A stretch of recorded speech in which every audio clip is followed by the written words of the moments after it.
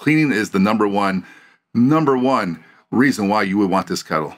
Meet the Boilermaker Surface, a kettle without a heating coil.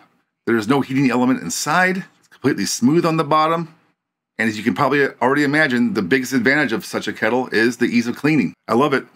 I love this thing. Um, I'm using this probably for every brew day going forward, probably, unless something better comes along, which I'm struggling to understand what could be better than this.